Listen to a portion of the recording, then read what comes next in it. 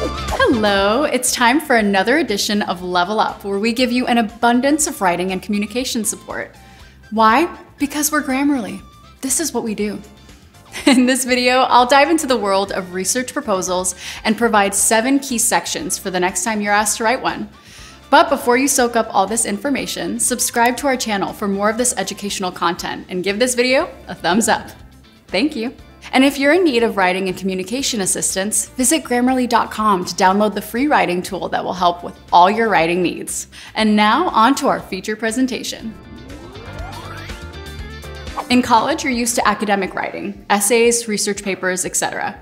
We've discussed them at length in this series, but let's say you're asked by your professor to write a research proposal or a literary review. Don't worry, I've got you. Boiled down, a research proposal is simply a short piece of writing that details exactly what you'll be covering in a larger research project. You'll likely be required to write one for your thesis. And if you choose to continue in academia after earning your bachelor's degree, you'll be writing research proposals for your master's thesis, your dissertation, and all other research you conduct. In a research proposal, the author demonstrates how and why their research is relevant to their field. They demonstrate that work by filling a gap in the existing body of research on their subject, underscoring existing research on their subject, and or adding new original knowledge to the academic community. A research proposal also demonstrates that the author is capable of conducting this research and contributing to the current state of their field in a meaningful way.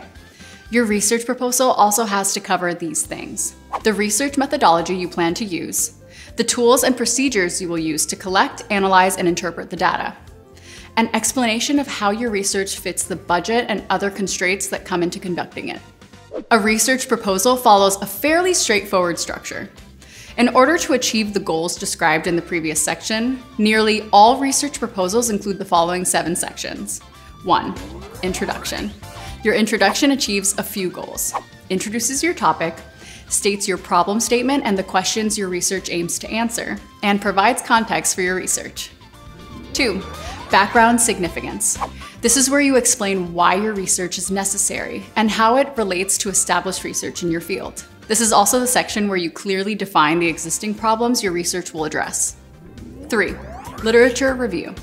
This includes landmark studies and their data, books, and scholarly articles. A literature review isn't merely a list of sources. That's what your bibliography is for. A literature review delves into the collection of sources you chose and explains how you're using them in your research. 4. Research design, methods, and schedule. In this section, make sure you cover these aspects. The type of research you will do. Are you conducting qualitative or quantitative research? Are you collecting original data or working with data collected by other researchers? Whether you're doing experimental, correlational, or descriptive research. The data you're working with. You'll also need to cover how you selected your subjects and how you collected data from them. The tools you use to collect data. Will you be running experiments? conducting surveys. Note all the data collection methods here along with why they're effective methods for your specific research. Beyond a comprehensive look at your research itself, you'll also need to include your research timeline, your research budget, and any potential obstacles you foresee and your plan for handling them. 5. Suppositions and implications.